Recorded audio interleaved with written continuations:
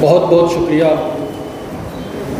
आज के इस जलसे की सदारत कर रहे अशोक सहोता साहब और बाम सैफ के तमाम ऑर्गेनाइज़र्स।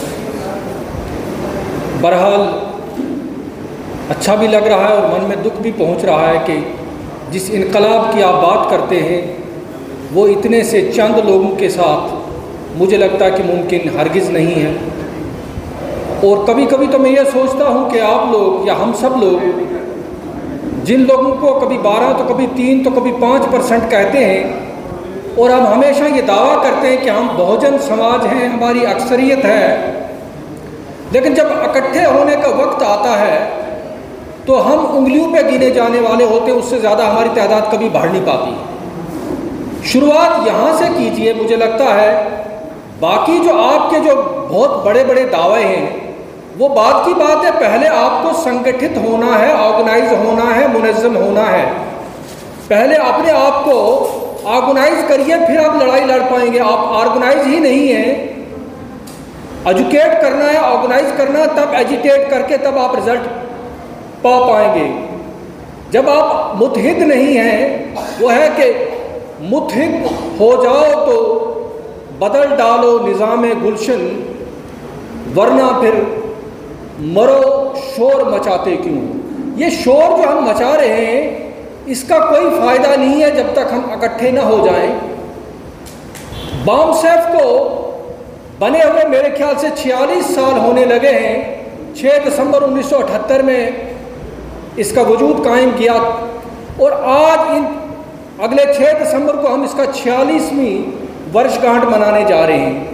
और हमने क्या अचीव किया? ठीक है, भारत की बाकी जगहों पर अच्छी खासी तादाद में लोग हैं, लेकिन आज भी मुझे लगता है कि हम अपने समाज को संगठित नहीं कर पाए हैं। आपको इस पर गौर करना है। अगर आपको सालाना अधिवेशन करना है तो उससे पहले कई मीटिंग्स होनी चाहिए थी। और मैं आपको बताऊँ, हमारे मुस्लिम चेहरे तीन या दो या चार, पाँच लोग जो हमारे मेरे साथ आए उनसे ज़्यादा नहीं है। तो क्या वजह है कि जब आप मुस्लिम समाज को अपने ही समाज का हिस्सा मानते हो। आप कहते हैं कि हमारी मिसाल तो ऐसी है कि हम किसी मेले में बिछड़े हुए लोग हैं। तो आप उन तक अप्रोच क्यों नहीं करते? आप रीच आउट क्यों नहीं कर रहे? यहाँ क्या सौ पचास लोग क्या नहीं हो सकते थे? अगर आपका ये इनकलाबी एजेंडा वाकई है तो इस हाल में आज जो है तिल धरने को जगह नहीं होनी चाहिए थी। तो मुझे लगता है कि हमारे ये अभी इन्होंने जो टेक ओवर किया है, मेरे दोस्त जोगिंदर राय साहब बड़े इनकलाबी जहन के मालिक हैं एजुकेटेड हैं यंग हैं एनर्जेटिक हैं, लेकिन इनको ये सोचना पड़ेगा कि इस ऑर्गेनाइजेशन में कैसे वो एनर्जी भर पाएँ, इस ऑर्गेनाइजेशन को कैसे वो समाज के उन वर्गों पे जिसको आप अपना हिस्सा मानते हैं, उन तक पहुँचने की बात करें, और जिन लोगों के खिलाफ आप लड़ाई करते हैं, आप कहते हैं कि तीन परसेंट है, पाँच परसेंट है, आपके आसपास कहीं उनका जलसा हो रहा होगा इलेक्शन में। आप देखिए, उनकी तादाद जाके देख लीजिए। और हमारे ही लोग उनकी रौनक बढ़ाते हैं, हमारे ही लोग वहाँ पे जाके। और हमने ही जो है, जो आप बता रहे हो कि जो इनकी तैयारी हो चुकी है, अभी मेरे दोस्त तरसीम मूल नवासी साहब बता रहे थे कि इनकी तैयारी, इनका एक प्लान था। सौ साल का एजेंडा लेकर ये लोग चले थे। अब सौ साल में, अभी पहली अटेम्प्ट तो इनकी पूरी तैयारी थी कॉन्स्टिट्यूशन बदलने की तैयारी हो रही थी, लेकिन इसमें शायद इनको वो नंबर्स नहीं मिल पाए। वरना मुझे लगता है कि कई लोग तो कहते कि मनुस्मृति का सारा मसवदा तक तैयार हो गया था। अगर ये इस कदर हमारा हैबतनाक फ्यूचर है तो हम लोग इकट्ठे क्यों नहीं हो पा रहे तो मुझे नहीं लगता कि आपके एक अधिवेशन, आपका एक साल में एक मीटिंग करने से आप कुछ हासिल कर पाओगे।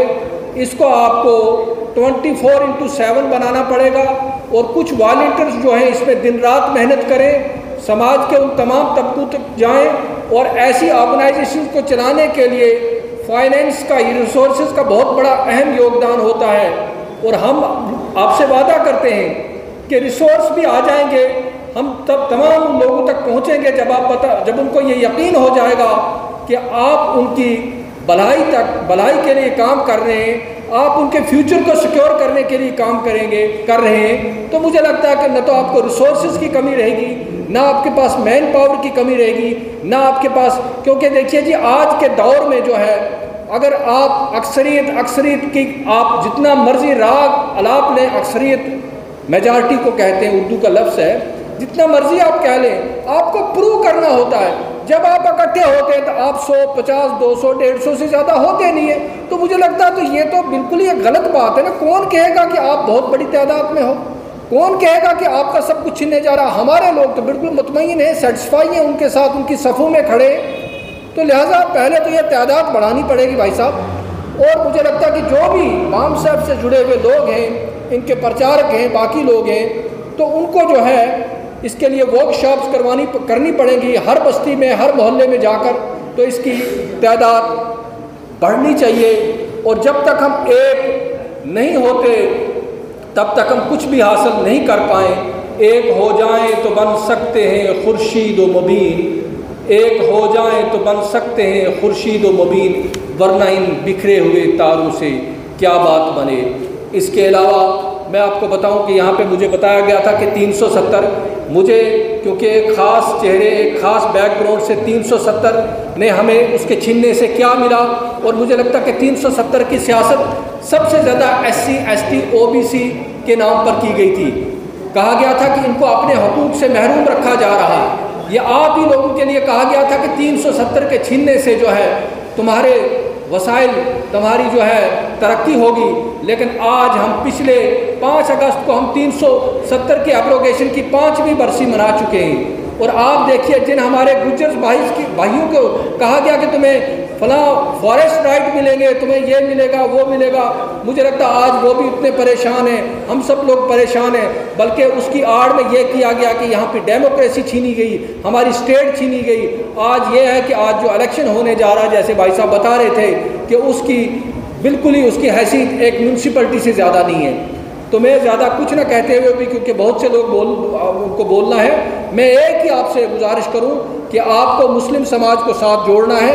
हमने शेख यूसुफ साहब को इनको कहा था कि इनको जोड़ा बल्कि हाथ पकड़ के। तो आप निकलिए आगे आइए और ये रिलेक्टेंट अप्रोच आपको तर्क करनी पड़ेगी। आपको आ, अपने ये जो एक सेशन से दो सेशन से इससे काम नहीं चलेगा।